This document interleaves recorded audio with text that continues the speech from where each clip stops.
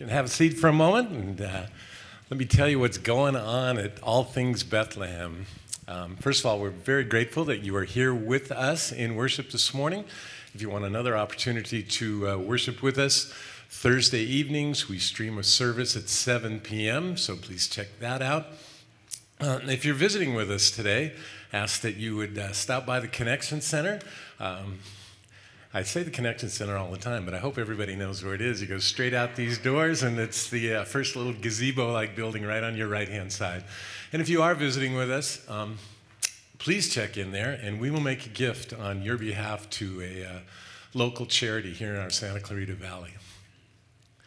And then, as always, I want to tell you about the opportunities that we have to grow in your faith, to become what God wants us to be.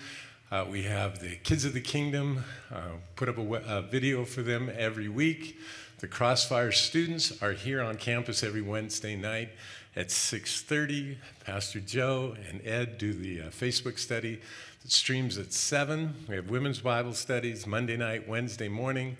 Journey groups are getting up and running again. Um, so if you want more information about any of those, and I hope that you do, check out our website, bethlehemscv.com or you can get all the information on our app as well.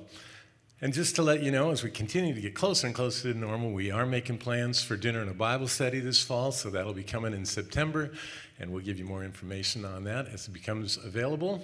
And then, one other thing to mark your calendar, we have a voters' meeting coming up. Uh, it's going to be on September the 20th, where we will uh, discuss and take a vote on our budget for the next year give you a lot of information about what's going on at the church. So just keep that in mind. It's going to be Monday evening. You can uh, come here on campus, or it'll be digital as well.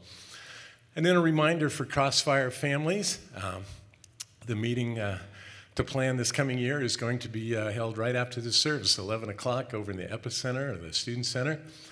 And uh, they asked me to invite anybody who wants to uh, be involved in that, who wants to support the students, encourage them, be involved in the planning everyone is uh, welcome to attend. And then finally, we uh, again want to thank you for being here and participating in our ministry.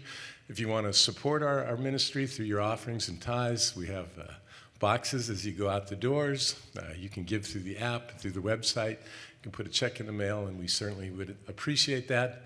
And again, to our guests, we certainly aren't asking you to participate. Your uh, presence here is just a great gift to us.